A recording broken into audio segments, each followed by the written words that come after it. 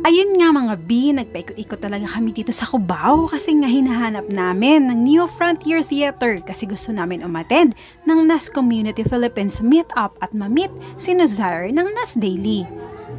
Ayun, sinikap talaga naming maging maaga kasi nga nais namin na malapit kami sa stage at buti na lang, konti pa lang yung mga tao pagkadating namin. At pagka 9am ay nagsimula na nga yung registration. At dahil alas 12 pa nga kami pwedeng pumasok ay kumain muna kami, syempre para hindi kami magutuman. At pagkatapos nga namin kumain ay bumalik na kami kaagad sa aming pila para nga makalapit kami sa stage. At nakatabi nga namin to sa pila ang dalawang mga magagandang madam. Pero pinalipat sila ng team ng NAS Daily PH sa pila ng mga seniors at ng mga person with disabilities. Naiwan kami ni Dane sa pila pero okay lang din kasi alam ko naman na malapit kami sa stage. At gumana na naman mga bi ang agimat ko sa mga strangers dahil bago mag alas 12 ay binalikan kami ni ate at isama sa kanilang line. Kung minsan nga naman may benefit talaga tong pagkamarites natin kasi nga tingnan mo oh, yung pinapangarap lang namin ni Din ay makalapit sa stage pero dahil nga marites ako, napasama kami dito sa priority lane at sure ako na sa harapan kami talaga uupo.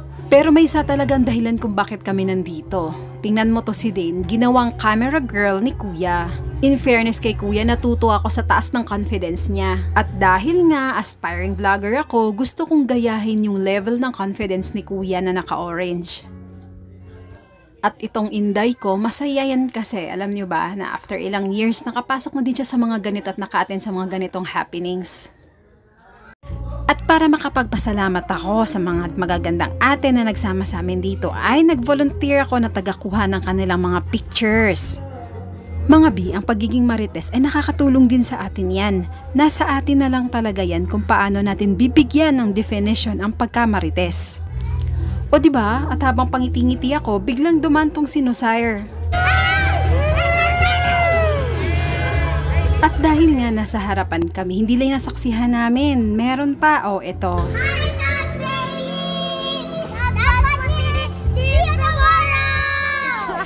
Expected naman mga B na maraming mga vloggers sa mga pupunta dito. Pero ito sila, familiar na sila sa akin pero hindi ko sila ganun pinapanood.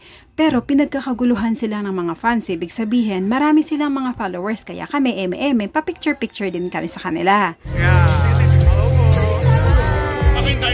Hello, hi.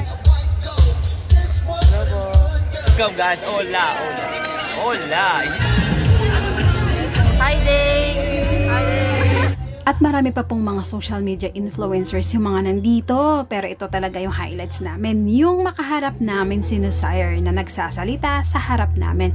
At ito talaga yung tumatak sa akin. But, but I think it was a good reminder of how dangerous social media is. We all love it, but it's really, really dangerous.